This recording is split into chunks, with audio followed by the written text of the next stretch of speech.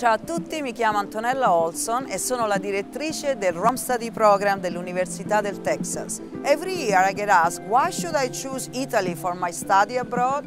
Well, we made a video and we are going to tell you everything about it. Let's start with the simple fact that Italy is amazing. If you have been there, then you know exactly what I'm talking about.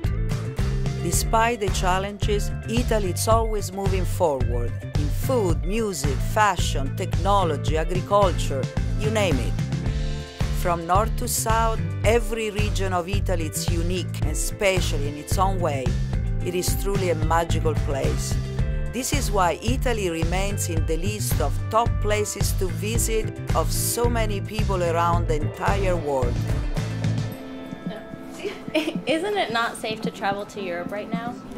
My parents are pretty paranoid about it. What should I be telling them? I understand their concern, but I really think that we shouldn't let our fears stop us from studying abroad and seeing the rest of the world. For over 20 years, I brought UT students to Rome. They're always telling me how much their experience has improved their lives. We have fun, but we also work hard. Our students learn a lot, connect with people, and can earn 6 UT credit hours.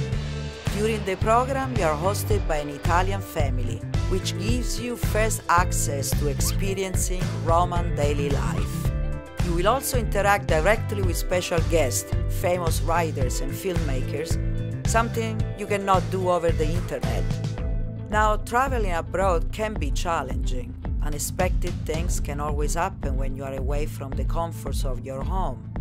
Italy does have the reputation of being a safe country. More than 50 million tourists travel there every year.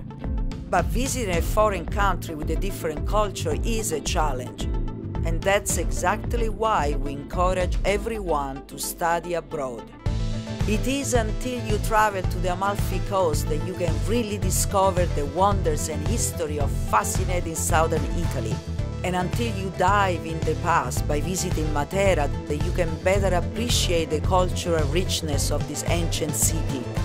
It is about you enjoying the artistic and historical side of Rome, Florence, Venice, or the vibrant energy in Milano, while also understanding that these are living cities filled with people with dreams, concerns, and aspirations just like you.